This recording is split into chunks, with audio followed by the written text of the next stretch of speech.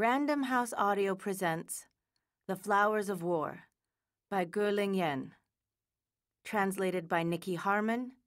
Read for you by Samantha Quan. Chapter 1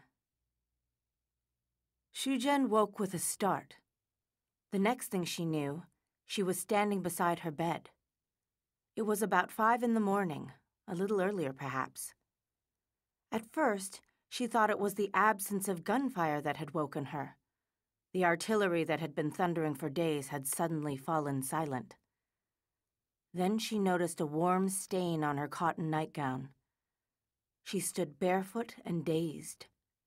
Blood. The wetness quickly turned icy cold. So, it had finally happened to her, as it does to every woman. Her makeshift bed was in a row of eight. There was a narrow gangway and then another eight beds. Buildings all over Nanking were burning, and light from the flames filtered through the blackout curtains that covered the small oval attic windows. Orange patterns rippled across the room. Shujuan could make out the sleeping forms of the other girls and hear their deep breathing as they dreamed of more peaceful days. She pulled the jacket over her shoulders and climbed down through the trapdoor in the floor to the workshop below. The workshop was used for printing and binding the pamphlets and hymn sheets that the St. Mary Magdalene mission needed for church services and its other religious work. Usually, the attic above was unoccupied. The trapdoor was merely to allow access for electrical or roof repairs it was connected to a ladder by an ingenious mechanism that extended the ladder downwards as soon as the cover was opened. When Shujuan and 15 classmates had arrived at the mission compound the previous evening, Father Engelmann had told them to stay upstairs in the attic as much as possible. They had been given a tin bucket to urinate in, but the blood on her nightdress was an emergency. Shujuan needed to go to the washroom. Father Engelmann hadn't expected that he would have to give the St. Mary Magdalene schoolgirl shelter. Yesterday afternoon, he, Deacon Adornato, and their two servants, Agu and George Chen, had taken those pupils who had been unable to leave school down to the river to get the ferry to Pukou. But they had been unable to board. When the steamer pulled into the dock, a group of badly wounded soldiers appeared and pushed the girls aside. One of the soldiers told Father Engelmann that their division had been shot at, not by the Japanese, but by their own side. They had received orders to make an emergency retreat, but had clashed with Chinese soldiers who had not received the same order, and so thought they were deserters. Having obeyed instructions to destroy their heavy weaponry on leaving the battlefield, they were a sitting target. They were machine gunned and came under artillery fire, and some were then crushed by tanks. Losses and injuries on the retreating side ran into the hundreds before the misunderstanding was sorted out. No doubt out of a sense of guilt, the unit who had inflicted the injuries took over the boat at gunpoint and put the wounded on board. There was no room for the clergyman and the girls. Father Engelmann had felt that it was too dangerous to stay by the river. He and Deacon Adornato had led their little party back through the alleyways of Nanking to the church, with Agu and George Chen bringing up the rear. Shujuan clambered down the wooden ladder that creaked at each step she made. On reaching the floor of the workshop, she felt the bone chilling December damp seep through the soles of her slippers. Standing on one of the tables near the ladder was a thick candle, melted into a shapeless mass of wax. Its quivering sprout of light gave Shujuan a little comfort as she felt her way across the workshop.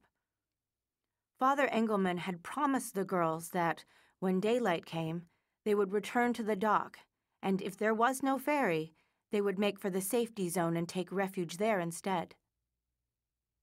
As Shujuan groped her way down the corridor made by the work tables, the candle went out like a sigh. She stopped, disoriented. The silence frightened her. Over the past days, she and her schoolmates had become accustomed to the thunder of artillery and machine guns. The lack of gunfire was disquieting. Not peaceful, but ominous, as if Nanking were surrendering. But how could that be? Only a day ago, Father Engelmann had reassured them that the city was impregnable. The sturdy city walls and the Yangtze River meant that it would be extremely difficult for the Japanese to take the city. Almost all the pupils who had been left at the school were orphans. Only Shujuan and Xiaoyu had parents, but they were abroad and had waited until too late to come and fetch their daughters. Shujuan felt utterly betrayed.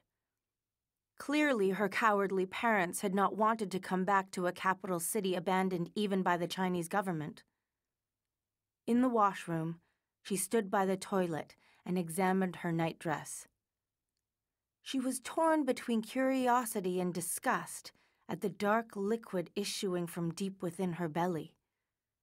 She had the sense that this blood had turned her flesh into fertile soil, a place where any demon could implant a seed which would put forth shoots and bear fruit. Shuddering, she wedged a bulky cloth into her underwear and left the washroom, walking in an ungainly fashion. In the workshop, she went to the window and pulled aside the blackout curtains. The bell tower of the Gothic church loomed in the night. It had been shelled a few days before and, along with the main entrance to the compound, had been reduced to rubble. The only way into the compound now was by a smaller side door. Behind the church, she could just make out the lawn. Father Engelmann was passionate about this patch of grass. It was, he said proudly to his congregation, the last island of green left in Nanking. For decades, it had served as a place for holding charity sales and celebrating weddings and funerals. Now it was dominated by the two flags, the Stars and Stripes and a Red Cross one, that lay on the grass as a signal to aircraft that it was neutral territory. In spring and summer, the lushness of the grass formed a fairy tale setting for Father Engelmann's red brick rectory.